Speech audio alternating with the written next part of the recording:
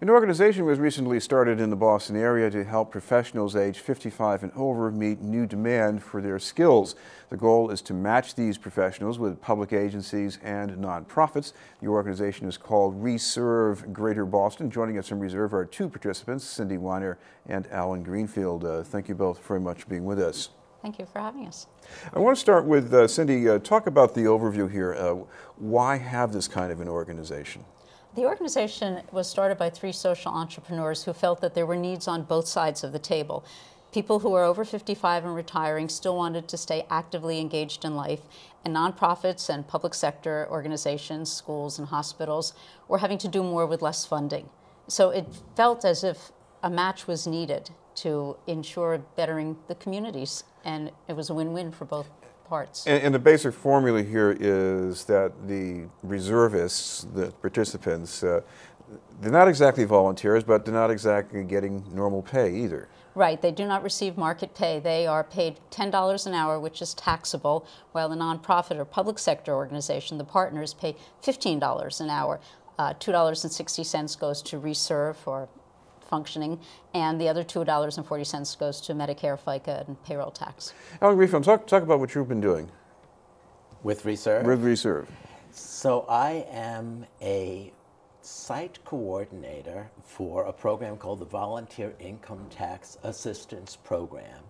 Uh, where uh, people of uh, lower means, let's say, can get their taxes, federal and state, prepared uh, for no charge. So I run a center. It's a room full of computers. I have 19 volunteers who are mostly college students. And uh, we serve about 25 to 30 clients per evening that we're open through the tax season.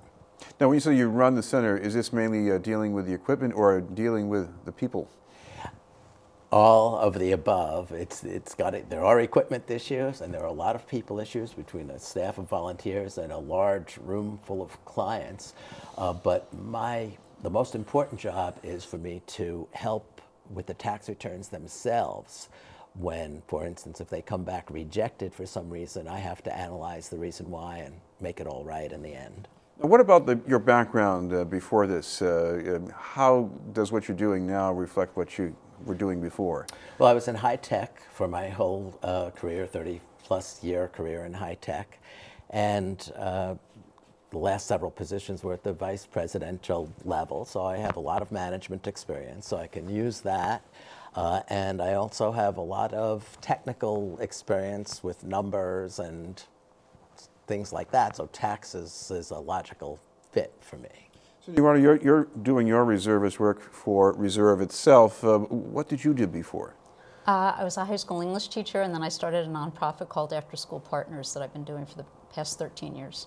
And when you were running this, what were you doing mainly? You were the recruiter, I guess, maybe? Or, At Reserve? Uh, or with After School Partners. Oh, I'm the executive director. I so so you, you were the person who uh, were in charge of the recruiters then.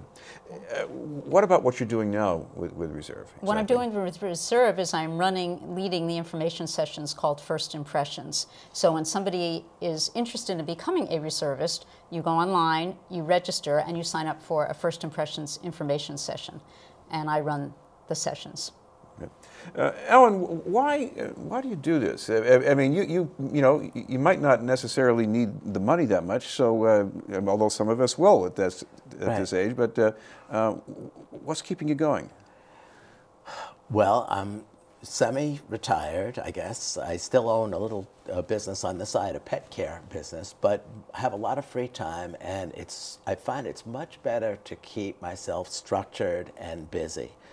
And the attraction of this particular reservist opportunity was pretty profound in terms of the payback, meaning that um, the folks who attend these sessions to get their taxes done are generally getting the benefit of something called an earned income tax credit.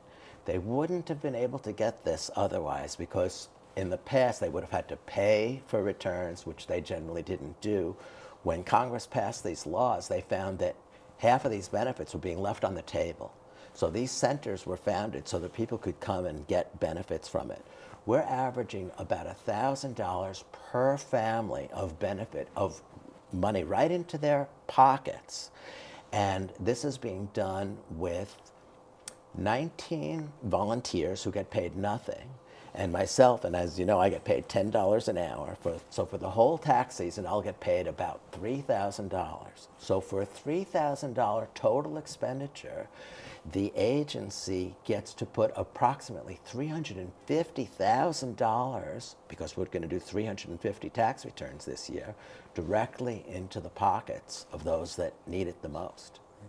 Uh, Cindy, I guess the other uh, side of this is that people do the work that Alan's doing and that you're doing, and uh, you're doing it in a way that's less expensive, but I guess it might be hard to get done otherwise.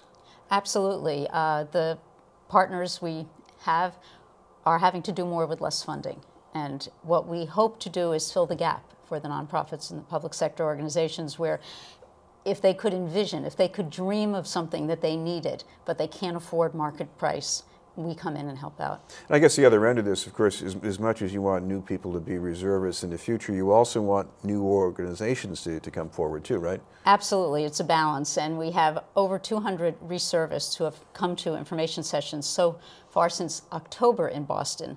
And we have about 15 partner organizations, so we want to catch up. Uh, how did you get uh, uh, involved uh, first, Alan? Did they come out looking for you or you, you discovered them? A little bit of both. I read an article in the New York Times a year ago, December, that said it was happening. And I happened to have a discussion with a person who happens to be a friend in my community. And I was mentioning it to her, and she said, what a coincidence. This reserve is actually going to be part of JVS, Jewish Vocational Service, in Boston. And so I had that connection early on, and I stayed connected with her, and then I became, along with Cindy, one of the first two reservists. Right. Cindy, uh, talk about what people should be doing if they do want to get involved in this. Explorer, you said you run these sessions, uh, even though uh, they might be booked a ways down the line here. Talk about they that. should go to the website, reserveinc.org, click on locations, go to Boston, and they will find a registration form and they will be led to the open sessions. Right. Thank you both very much. Cindy Weiner and Alan Greenfield from Thank Reserve. Thank you. We'll have more news in just a moment.